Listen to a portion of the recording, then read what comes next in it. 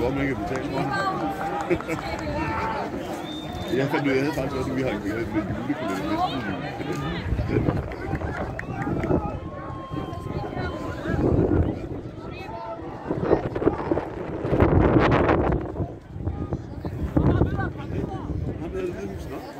jul.